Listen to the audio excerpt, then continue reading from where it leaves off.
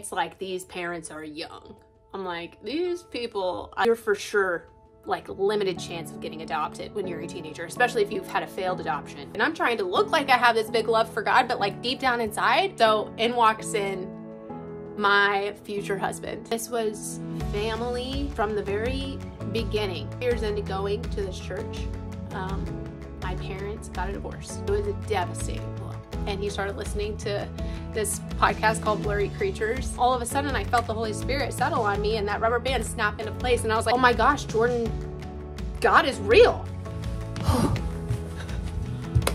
Man, okay, we're gonna see if I can actually like wrap this part up. This is not a depressing episode. I think I'm gonna be able to wrap it up in this episode. Everybody's probably like, yay, finally. This is gonna be a, like a more condensed down version. I've shared parts of it on my Instagram already, so if you follow me over there, you're gonna be familiar with this part of my story. Before we get started, go ahead and give the video a thumbs up and then subscribe if you haven't already. And then you can follow me over on Instagram if you wanna keep up with more of like my um, counterculture videos, more encouragement when it comes to to Christianity as a whole. I talk more about it over there, but today we're gonna wrap up the part of my story that really hits on just how much God, like when I say that he moved mountains for me, I mean that he moved mountains for me. Like he completely shifted my life. Like when when I was left off last week, I was talking about how I had like left the house of horrors. I was um, adopted and then I was put back into foster care. After I went back into foster care, I I really I I mentioned it, but I kind of mentioned it more in passing. And that when you come back into foster care, you really it, it's going to be a really hard thing to get you placed if you're a teenager. I was 14 years old. I had a history of just having like behavioral issues. I came back into care and I not only didn't have to go into like a group home, I went into immediately into a an actual home. Two parents parents, other kids. I went back into into into a shelter and I got a call one day and they that I had a place to go and I was like, wow, okay, an actual family. And I pull up to this family's house and it's like these parents are young. I'm like, these people, uh, you want me to view them as parents, but they're like older brother and sister. Like parents of the home were like in their mid 20s, 10, 12 year age difference. Um, end up moving in with this family and they had uh, some uh, some little kids that were in the home and then they had a, another girl that was older than me. I mean, I wasn't the only teenager that this young couple had. Um, so I was like, all right, well, but something that was different about this family is that, that there was a lot of structure in the home. They, they had um, expectations of the of the kids living in their home. And like I said in my last video, like discipline and structure is not a punishment for your children, but it's really a gift for your children. I'm at this house and it's the summertime, and they're gonna go across country for the mom's brother. It's his it's his wedding. He's getting married, and the state let me go across the country with him. I'd never even been out of the tri-state area. I'm from Arkansas. I'd never been out of the tri-state area. Never seen the coast or really anything, at least from what I can remember. Nothing in my memory. Uh, I couldn't remember going. And I get to like experience like family and and see them interact with each other. When we we came back after going to this wedding and I really got to experience family, they sat me down, the mom and the dad sat me down. They asked me if I really didn't want to be adopted again because at this point I had a court appointed advocate for me, a CASA worker, and she was working with me to become independent living because not only is it hard to get placed at all, like you're for sure like limited chance of getting adopted when you're a teenager, especially if you've had a failed adoption. My hope for having a family was pretty much like non-existent. I, I didn't think that it was possible for it to happen, so I just made like I made it seem like I didn't even want it to happen. Like, oh, it's not really possible, but I'm gonna act like I'm in control. I'm making the decision for myself, so I'm gonna do independent living. The parents sat me down and said, "We will adopt you if you want to be adopted. We don't we won't force you to be adopted, but like if you're you're truly saying you don't want to be adopted because you don't want to be, we respect that. But if you're saying it because you don't think that it's gonna happen, like we will we will adopt you. And I was like, it wasn't, I didn't even have to go and think about it. I was like, uh, yes. I had been lying to myself that whole time. Oh, I don't want to be adopted. I don't want anything to do with that. But that was a total lie because I wanted to be adopted. I just set that my expectations low because I thought I don't want to be disappointed. That you're supposed to have a foster child in your home for at least six months before you're allowed to adopt them. But my family and my parents were moving across the country for my dad's job sooner than the six months. And the state actually gave them special permission to adopt me early. And so I got adopted in December of 2010. 2010?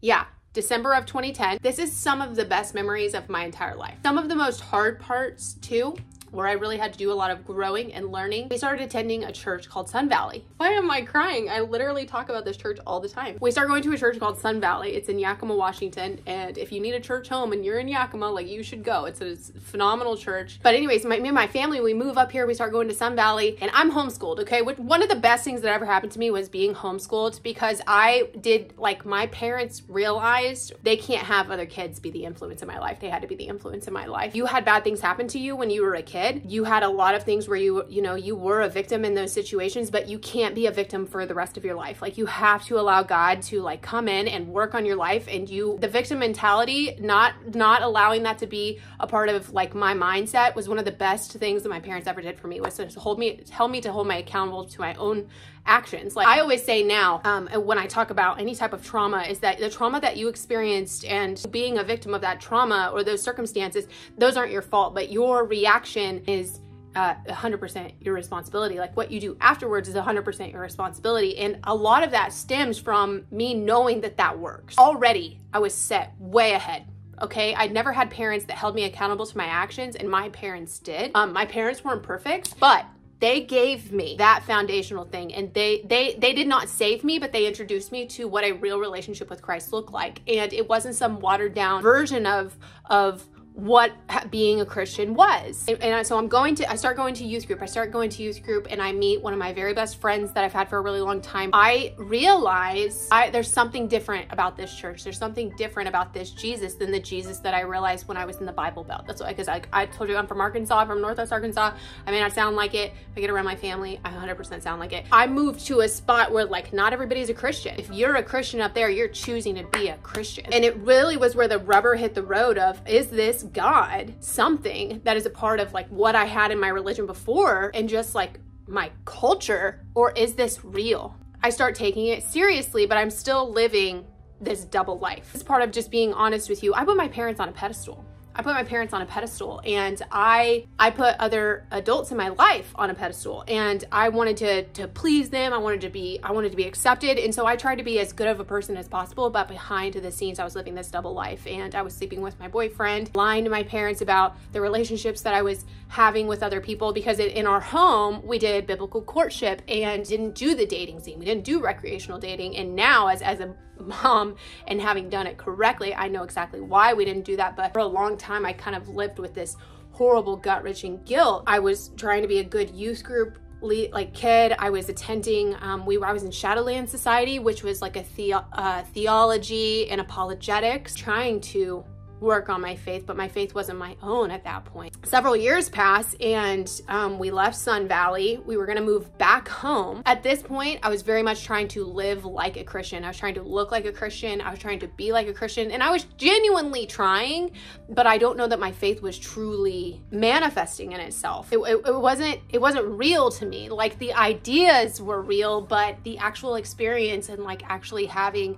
an anointing from the Holy Spirit, I don't know that I actually had that, which was kind of terrifying terrifying to me because I was looking around at everybody else and I was like, man, everybody else is just like freaking, it seems like they just have this huge love for God. And I'm trying to look like I have this big love for God, but like deep down inside, like I don't think I love God. Like I don't know that I loved really a whole lot of people. I cared what they thought of me, but I wondered if I ever truly loved them. Uh, anyway, so, so we, we are going to move back to the area because my dad came back home for work and back home as in like back to Arkansas for work and he moved back. We actually stopped in Kansas and stayed with my grandparents. My parents were going to build a house and it was going to be like their forever home. And at this point, me and my mom, we were very close. Um, we were very close friends. I'm 18 at this point. I turned 18 right before we moved back back to Kansas and we're just like here for a pit stop. We're not even going to stay for very long. I go to like a young uh young people's ministry, young adults, young adults ministry, if I can talk. I literally get butterflies even 10 years later. So in walks in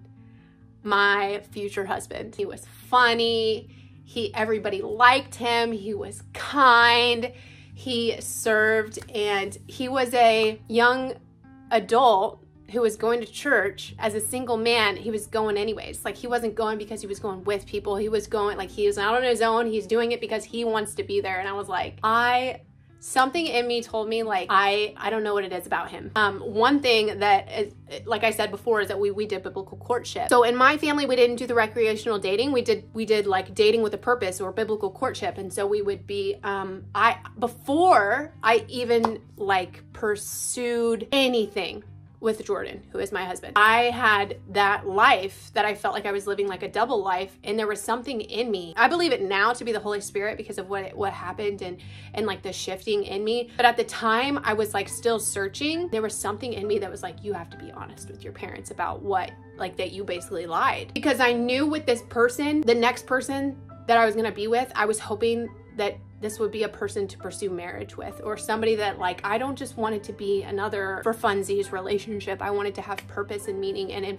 order for that to happen, I have to be completely honest about what happened before. And so one night, telling my mom at my grandparents' house, I just told her everything. I had made this vow to myself and she knew about it that I didn't even want to kiss my first husband because I mean my uh I didn't want to kiss my future husband or anybody um, because I wanted to save it until the altar. I didn't I didn't have that to give like the virginity part of it. There was just something that I wanted to have that was sacred, that was a gift not only to myself but to my husband. And not only did I not do that with this last person and lied to her about it, like it went way beyond the, that like as far as you can go. At this point, Jordan and I were talking and she was like, you're not only gonna have to be honest with me, you're gonna have to be honest with him. Called him and uh, one thing led to another, and we ended up going over to his house and sitting down, and he had no idea what was happening.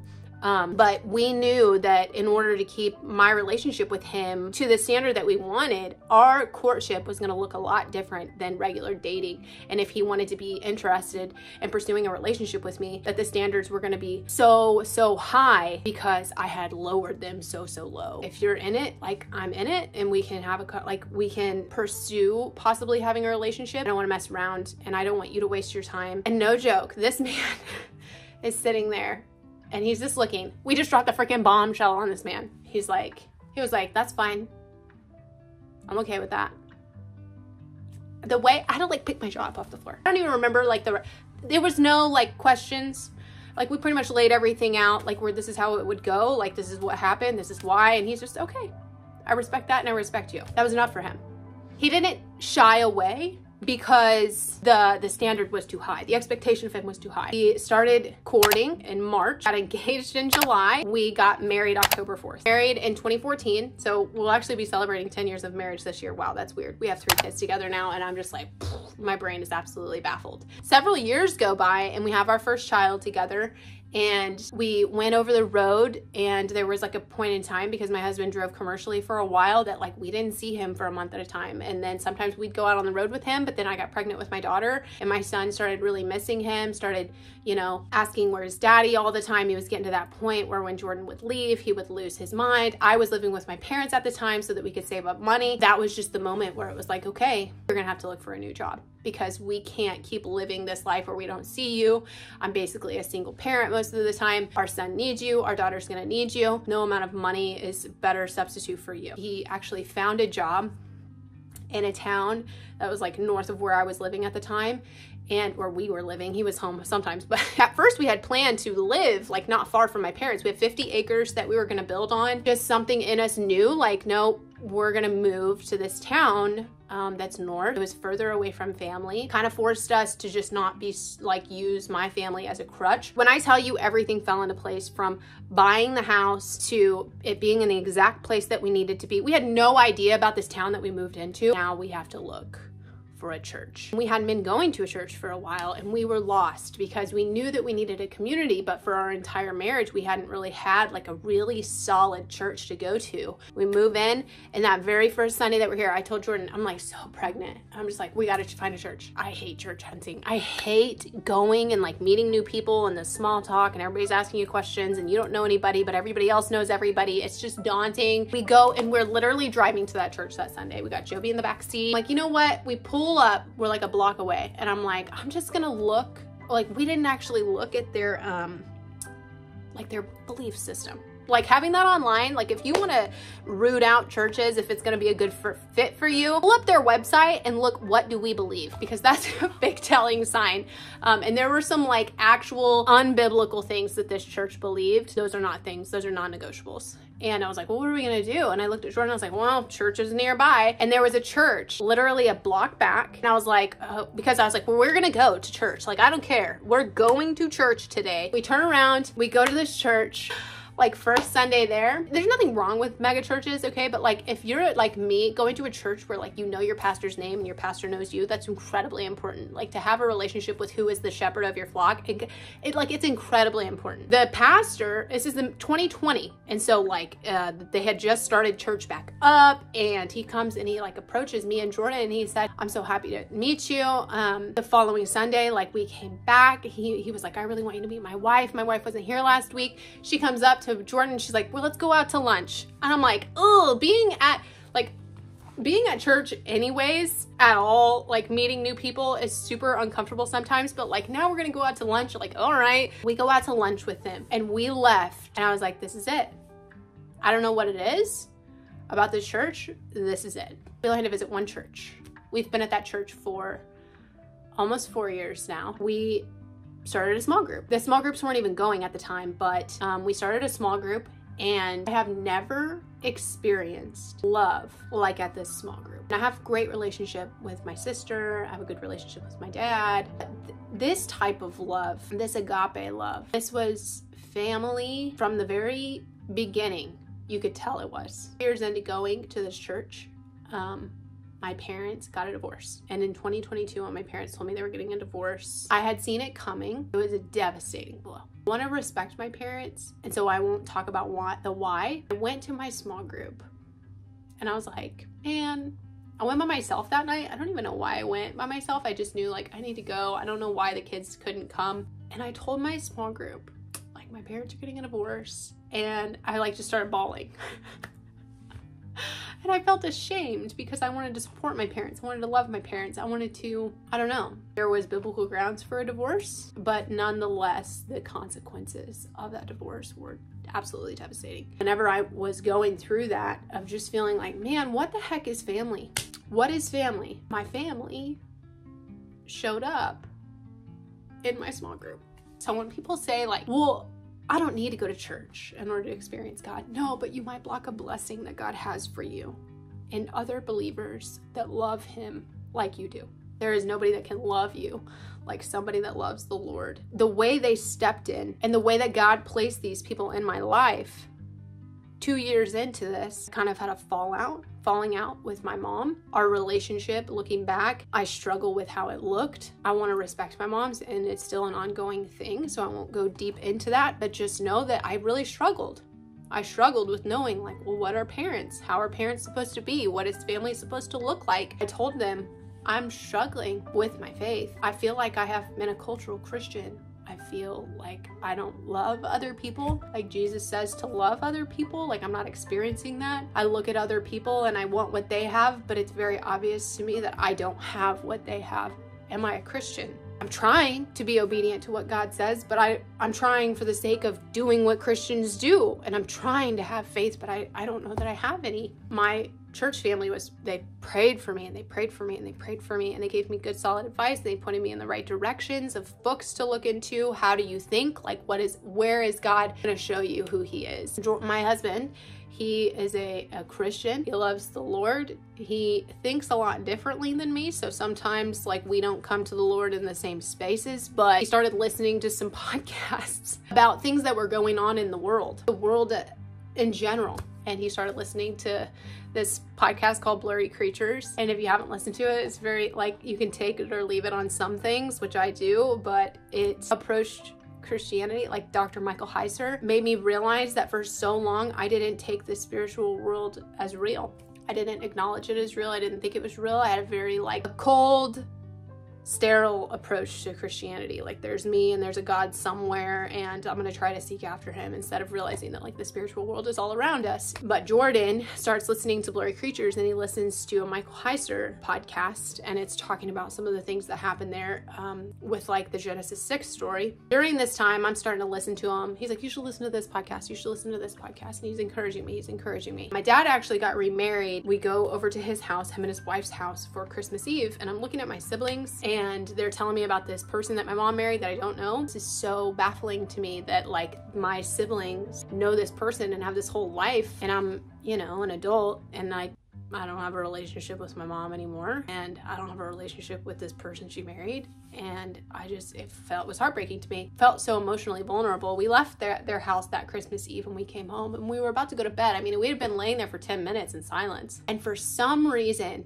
I brought up Michael Heiser. Imagine a rubber band. You're stretching it. You're stretching it. You're stretching it and you let it go and it snaps. That is what it was like while I was lying in bed with Jordan. And all of these things for all of these years led up to this like cataclysmic event to where it became so physically, emotionally, mentally, and spiritually real all at one time. We I talked to him about Michael Heiser when we were talking and then I just started spouting things off. All of a sudden I felt the Holy Spirit settle on me and that rubber band snap into place and I was like, "Oh my gosh, Jordan God is real. And he was like, You're freaking me out.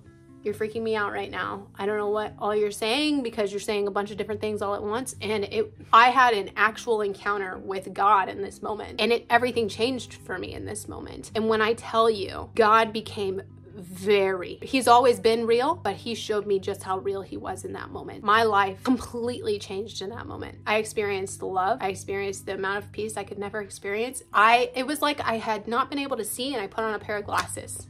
Only I didn't see things blurry. I saw things black. I saw nothing. I put on a pair of glasses and then the world was colorful. That is what it felt like in that moment. And and it has become a harder during some days, but every single day since that moment happened, I want to read the word. I prayed for a long time, God, help me to get into your word. But when I could really acknowledge him and acknowledge his presence and it was a real thing, a real being I'm having a conversation with, then I believed in what I was saying to him and I believed that he would answer my prayers. And I wanted to be in scripture. And ever since that moment happened, I've realized that I've been called to speak to other people about Jesus. I didn't love other people before. I've recently shared that the reason that I was not vocal about Jesus before was because I didn't love other people. I didn't I was told I would never be able to be capable of loving other people. And and the reason that I didn't share Jesus before was because I didn't really believe what I was saying. I was just trying to save myself from hell. I didn't really want to have a relationship with God. I wanted to have a relationship that was safe after death. In case something was real after death, I wanted to make sure I had my checkbox marked, right? It wasn't real. Even in all these things, God was there every single step of the way. People say, oh, he talks so much about God. People that have been healed talk about what healed them. And even in those moments when I didn't understand that it was God who was healing me, I didn't understand that it was God that was showing up to save me from having to go to that group home, to save me with parents that were willing to step up and show me and uh, like, tell me about Jesus, to have parents that held me to a higher standard, to put me in a church where I have people that say, I love you like you are my daughter. I choose to love you like you are my daughter, that, that, that love my children like grandparents. People who love Jesus. And then the connection came alive to me that I, I can know these people and I can love these people because of the connection that we have through Jesus Christ. I'm okay with people thinking that I'm nuts. I'm okay with people saying like, oh, you're just over spiritualizing everything. No, I'm not over spiritualizing everything. Spiritual world is very real. Sometimes God comes to people and, and it's not, super hard to have that transition. But I'm a doubting Thomas, okay? And that's just who I am. You think the people that are disciples like, oh, I'd be Simon Peter, cutting people's ears off. Like I can relate to that. And I can also say, I'll believe Jesus rose from the dead when I see it with my own eyes. I had to physically experience it. And it was terrifying to me because I saw these other people that were experiencing it. I didn't have it in me. The beautiful part about it is people say, well, what did you do? What did you do this? How'd you do this? I didn't do anything. In that moment when that rubber band snapped together, it was because I just, I sought him out and sought him out and sought him out, even when I couldn't feel him in that moment. And so if you are like, I don't know if God, like I'm not experiencing God, like I want to believe, I want to continue to want to believe God will carry you. Faith for some people can be an overnight thing, okay? They can be completely atheists one moment and then not the next. But for some people, it takes a long period of time. The doubting Thomas, who's walked with Jesus, knows Jesus, has seen what Jesus does, and yet they still aren't sure. But God is faithful. If you say, please, I surrender, He can do a lot more with our surrender than He can do with our control. In those moments when I felt like I would never have the relationship like what other people had, instead of saying, oh, well, it must be because it's just not real, I had to realize like, it's God who has to do the legwork of my faith first. I can't seek God and find God on my own terms. I can't make my faith with God. Faith is a gift from God. I'm telling you this as somebody who is an analytical thinker. I'm a facts based thinker. If you search for Him in the questions of the universe and science and philosophy and cosmology and spirituality and relationships and love, he is there in every single one of those things. And people will say, oh, well, this disproves it. And this is, it doesn't. God has not finished with those who want to seek him, who want to know him. If you want to know him, he will let you. Surround yourself with people that are genuinely praying for you. Find a church. I know it's difficult. I know it's hard. If the church doesn't feel right, if it feels corrupt, leave. But if the church just feels uncomfortable, it might be a you thing, okay? I'm not saying don't listen to the spirit, but sometimes the enemy is getting in there and he's playing on that uncomfortableness to make you want to leave and get back to being comfortable. But being a Christian means being uncomfortable. It means dying to ourselves, dying to all of our beliefs. You have to let go of reason in order to believe in Jesus Christ. You have to let go of your pride. But I want, I have to want Jesus more than I have to want my own pride, more than I want to have to want my own control. Jesus is always there. Jesus is always faithful. From me being born and my mother leaving two months in to me having an absolute faith crisis and my entire family being up in flames, God has always been Every single moment, every single step, the drugs, the alcohol, God saved me. He snatched me from it every single time, time and time again. Like I shouldn't even be here. And yet God kept coming back for me. I love you. I love you. I love you. This is your family. Those that love me, they are your family who you will rejoice with in heaven. They are who will be in my presence. They are eternal. That relationship with the person, the connection between Christians, me and you, if we're both Christians, our connection is eternal. That's why the relationship between believers and the relationship between God, it transcends anything that the world can come up with as a version of family. We are all adopted. We are all relying on His goodness and His faithfulness. And if I had, can see it in every single aspect of my life where God protected me, better mom now because of what I've gone through. I can relate to other children who are going through things. I have seen the nitty gritty underbelly of America, of poverty, to where now God has done great things in my life, but I can come and I can give hope, and people can see that in the darkness of my own past, God's light was shining bright.